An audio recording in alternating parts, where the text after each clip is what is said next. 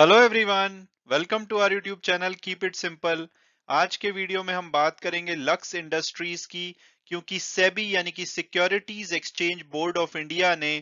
इनमें 14 लोगों को, जिसमें कि एक लक्स इंडस्ट्रीज़ के एग्जीक्यूटिव डायरेक्टर भी हैं, उनके ऊपर इनसाइडर ट्रेडिंग की वजह से बैन लगा दिया है। तो इस टॉपिक को हम इस वीडियो में डिटेल में डिस्कस करेंगे और ये भी बात करेंगे कि क्या आपको करंट प्राइस पे लक्स इंडस्ट्रीज़ का शेयर लेना चाहिए या नहीं।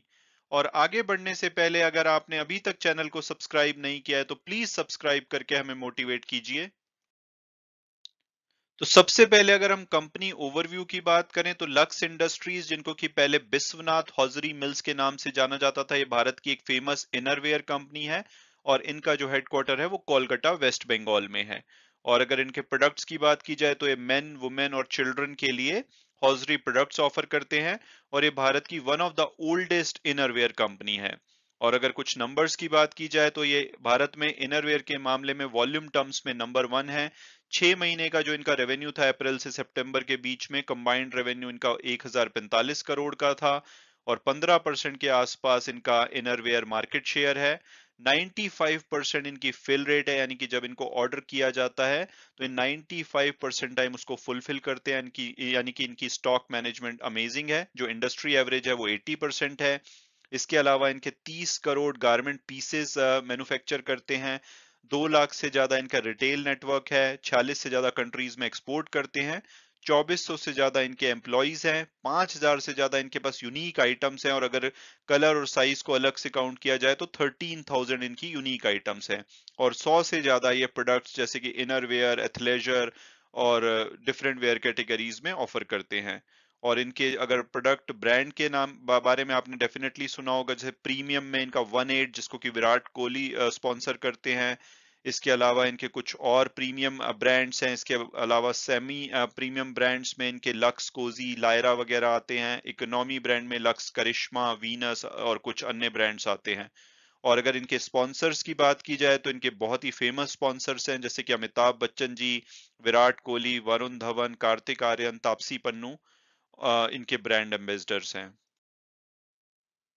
और अब अगर बात की जाए लेटेस्ट डेवलपमेंट की तो कल यानी कि 24 जनवरी को जो हमारा कैपिटल मार्केट रेगुलेटर है, सेबी यानी कि securities exchange board of India उन्होंने 14 एंटिटीज को बैन किया है, जो कि लक्स इंडस्ट्रीज़ के शेयर में इनसाइडर ट्रेडिंग करते हुए पाए गए थे। और सेबी ने ऑर्डर दिया है कि जो इनसाइडर ट्रेडिंग की वजह से इनको दो करोड़ चौरानवे लाख के अनड्यू गेन्स हुए हैं, उसको भी इम्पाउंड कर लिया जाए, यानी कि उसकी लीगल कस्टडी ले ली जाए। और जो 14 एंटिटीज या 14 लोग बैन किए गए हैं, उसमें से एक नाम है उदित टोडी, जिसकी की फ़ोटो आप यहाँ पे देख सकते हैं। ये जो लक्स इंडस्ट्रीज़ के मैनेजिंग डायरेक्टर हैं, उनके बेटे हैं और ये खुद भी कंपनी में एग्जीक्यूटिव डायरेक्टर की पोजीशन पे पोजीशन को होल्ड करते हैं।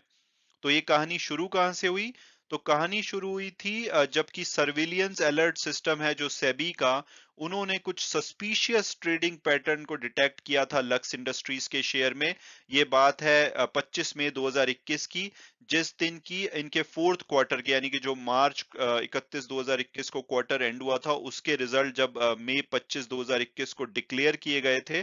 और उसमें पता लगा था कि जो कंपनी का प्रॉफिट है, वो काफ़ी ज़्यादा बड़ा है क्वार्टर ऑन क्वार्टर बेसिस पे और even year on year basis पे। तो उसके बाद देखा गया था कि जो इनका शेयर है, लक्स इंडस्ट्रीज़ का शेयर 40.75 परसेंट बढ़ा था सिर्फ़ तीन ट्रेडिंग डेज़ के अंडर। और जब सेबी ने इसका एनालिसिस किया तो उन्होंने पाया कि एक ग्रुप है जो कि कनेक्टेड और रिलेटेड एंटिटीज का है उन्होंने इस रिज़ल्ट के आने से पहले कुछ लॉन्ग पोजीशन यानी कि शेयर को बाय किया था, और जब ये 40.75 परसेंट बढ़ गया विद इन थ्री डेज़ तो उन्होंने जो अपनी पोजीशन है, वो स्क्वायर ऑफ़ करी थी, और उससे बहुत मोटा प्रॉफिट कमाया था। और अब अगर बात की जाए कि भाई इसमें कौन कौन लोग इन्वॉल्व थे तो सेबी ने अपना जो एग्जामिनेशन किया था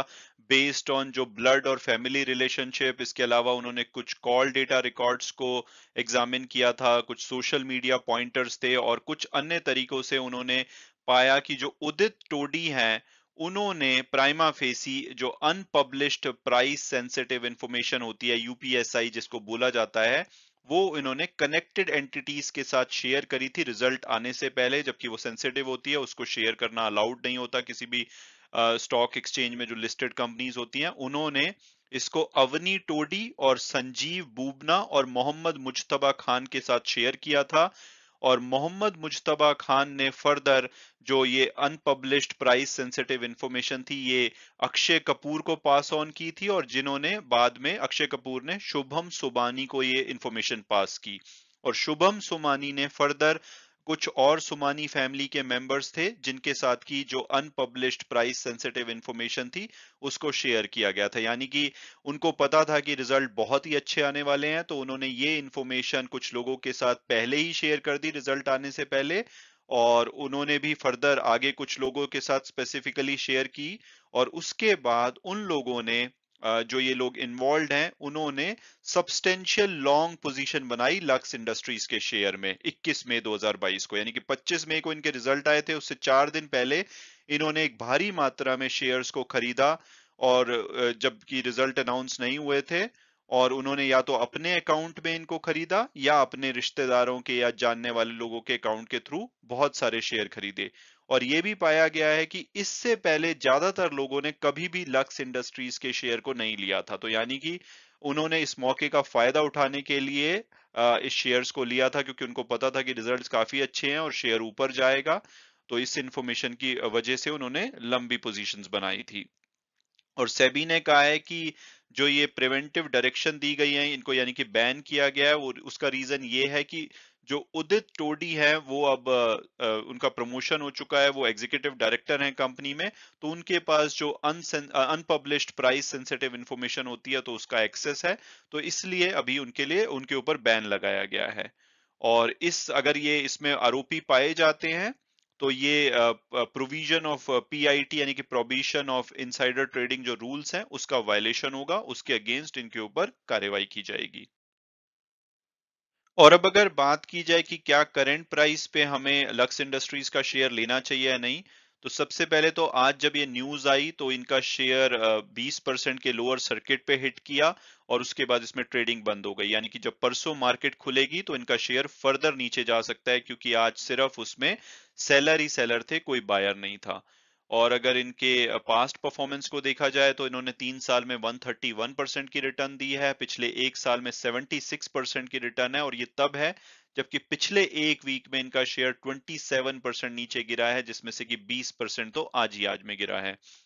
और अगर टिकर टेप के प्रोडक्टिव एनालिसिस को देखें तो वो इसका एवरेज प्राइस 4,832 बताते हैं हायर साइड पे 5,525 और लोअर साइड पे 758 और आप देखेंगे कि इसमें वाइड गैप है क्योंकि जो प्रोडक्टिव एनालिसिस किया जाता है उसमें हिस्टोरिकल प्राइस को भी कंसीडर किया जाता है। और इनका जैसे कि शेयर बहुत तेज़ी से भागा था तो आप देख सकते हैं कि इसमें ह्यूज गैप है। जो आज की क्लोजिंग है वो 2813 पे हुई है और कल की जो क्लोजिंग थी वो 3517 पे थी। यानी कि सीधा 20 परसेंट गिर चुका है और ये फर्दर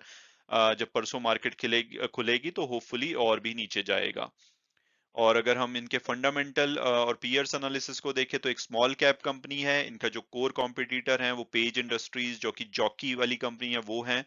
वैल्यूएशन इनका अट्रैक्टिव लगता है 27 की पीई और 8 की पीबी इनके जो भी कॉम्पिटिटर हैं उनके मुकाबले में, क्योंकि पेज इंडस्ट्रीज़ इस टाइम पे बहुत ही ज़्यादा ओवर वैल्यूड लगता है।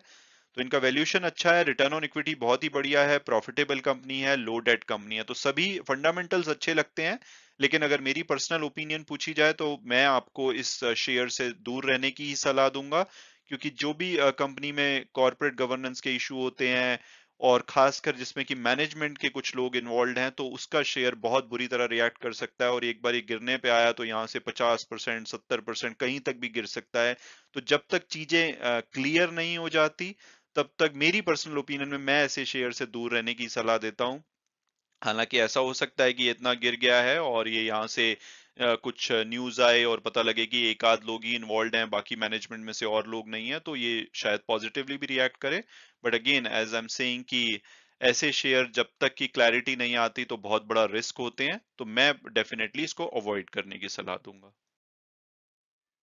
हालाँकि वीडियो क्लोज करने से पहले मैं हमेशा की तरह डिस्क्लेमर दूँगा कि जो भी व्यूज़ थे वो मेरे पर्सनल थे। अगर आप इसमें इन्वेस्ट करना चाहते हैं तो आप अपने फाइनेंशियल एडवाइजर से बात कीजिए, अपनी रिसर्च कीजिए, उसके बाद अगर आपको ये ठीक लगता है तो आप इसमें इन्वेस्ट कर सकते हैं। Thank so much for watching the video and God bless you all